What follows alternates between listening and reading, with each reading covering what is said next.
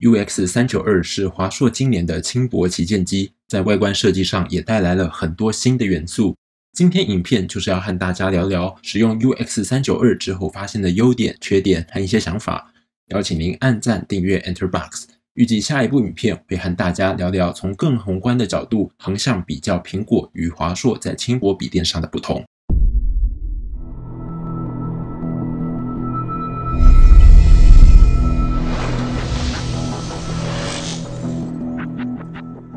很多人第一次看到 UX 三九二，都会被超窄的边框吸引，荧幕占比更是来到惊人的九十七 percent。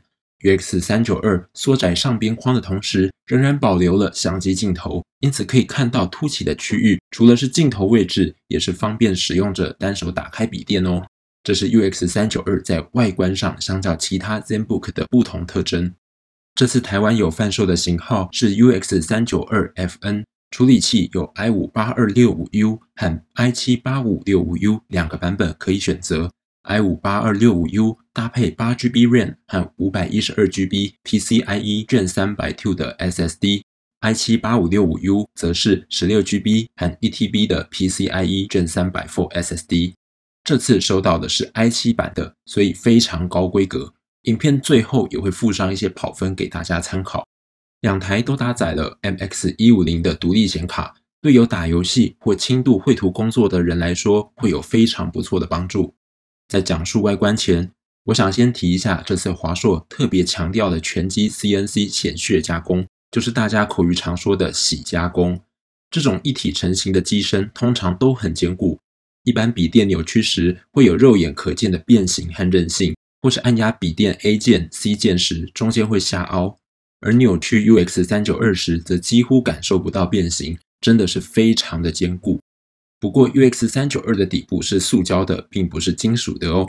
华硕官网也是写全金属机壳，全铝 ZenBook H 十三。很多人以为全机就都是金属的，但底部低键其实是塑胶材质。底部有一长排的进风口，上面有荧幕枢纽的凸起，这个凸起让单手拿笔电时的握持感更好。加上一点一公斤的轻量化，单手拿着笔电都不太需要去担心没拿好滑出去。此外，A 面的经典法丝纹也有不错的摩擦力。顶部 A 键中间是金色的 ASUS logo，以及经典的同心圆法丝纹，在光影下呈现丰富的纹理变化。这次的法丝纹手感非常丝滑，纹路非常细，深度也不深，但是在握感上还是有非常好的摩擦力。讲到单手握持的手感，我也要顺便赞赏一下这次 UX 三九二的配重。整个机身的配重让单手手指握持时相当舒适安全，这也是单手握持时不容易甩出去的因素。荧幕外壳的下方有一整排的钻石切割，非常特别的处理。中间一样有 ZenBook Series 的 logo。两个脚垫在荧幕打开时会代替底部两个脚垫与桌面接触，这就是 Ergo Lift。不过这次的 Ergo Lift 角度只有四度，不像 UX 三九一是五点五度，因此底部空间并不够放入带有手机壳的手机。打字时也少了 UX 三九一那种键盘明显倾斜托起的感觉。这部分来说，我会觉得 UX 三九二仍有 Ergo Lift 带来的好处和优势，但是发挥的程度就没有这么明显了。荧幕正面有非常窄的边框，九十七 percent 的超高荧幕占比。让整体的视觉沉浸感非常强。镜面荧幕当然免不了反光问题，再加上 UX 三九二十三点九寸荧幕仅配备一九二零乘一零八零的解析度，让像素密度只有一百五十八 PPI，显示有弧度的物体时，很容易可以看到锯齿。讲到荧幕，我还想多讲一点，这次 UX 三九二荧幕可以打开的角度有点不够。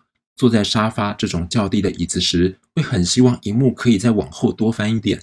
而为了确认我的感觉是不是正确的，我比较了一下，发现 UX 三九二荧幕最大的开合角度，实际上真的是比 MacBook Pro 还要小一些，而 MacBook Pro 又比 UX 三三三还要小。三者可开合的最大角度排列起来，刚好接近一个等差数列。所以当我在沙发使用 UX 三三三时，并没有这种感觉。但是用 UX 三九二时，就会明显感觉到荧幕开合角度的不足，会想要把笔电前面托高一点来增加角度。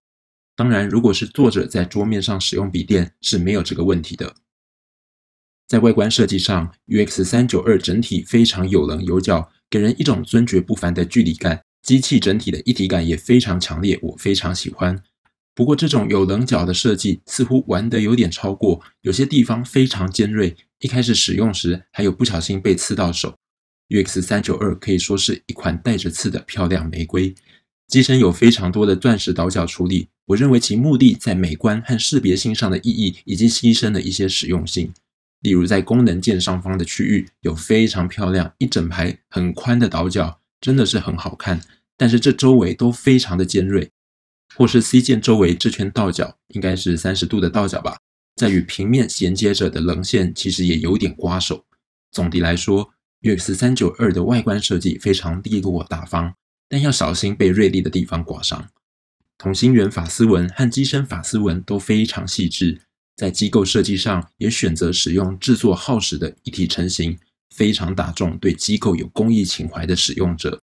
最近也接触了一些还未上市的 ZenBook 系列，看到一些在 UX 三九二的设计元素也延续下放到了其他机种，不过初步摸起来的感觉就没有这么尖锐刮手。期待之后开箱和上手的使用，再和大家分享。讲到键盘正面，像 UX 三九二这种旗舰商务机，通常都会配有键盘背光。而 UX 三九二的背光不是一般的白光，而是延续了 UX 三九一用金色的键盘背光，真的是很特别。原本 UX 三九一勃艮第酒红配上金色键盘背光，我就觉得真的是太好看了。这次金色背光配上 UX 三九二，像银色的冰河银也是非常好看。华硕真的是很会挑颜色诶。UX 三九二的键盘配置也相当合理，虽然很多人反映按 Delete 键时很容易误触到电源键而导致笔电睡眠，但我长期使用华硕笔电这种键盘配置，我是没有这种困扰，而且在其他品牌类似布局的笔电，我也没有按到电源键的问题。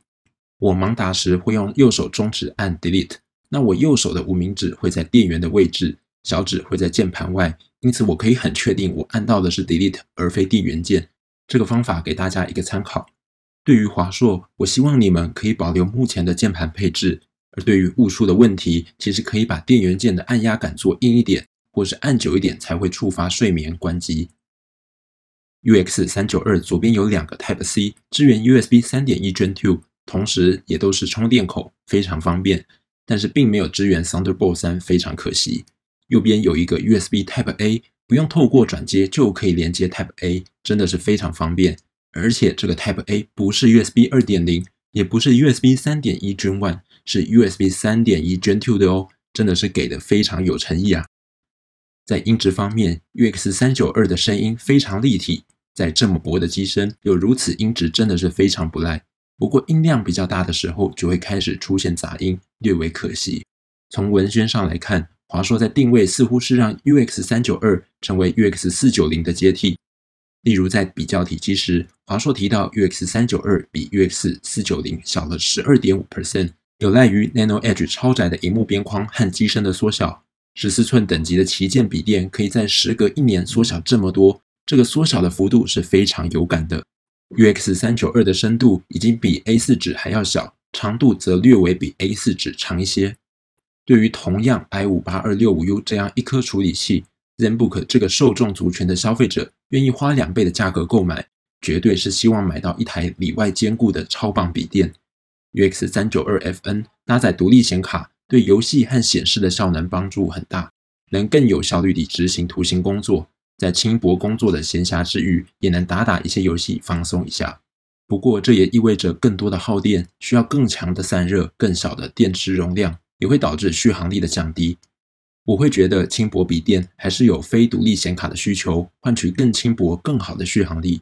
如果华硕的策略是每年推出一款旗舰等级的轻薄笔电，那么一年有显卡，一年没显卡，或许是不错的策略。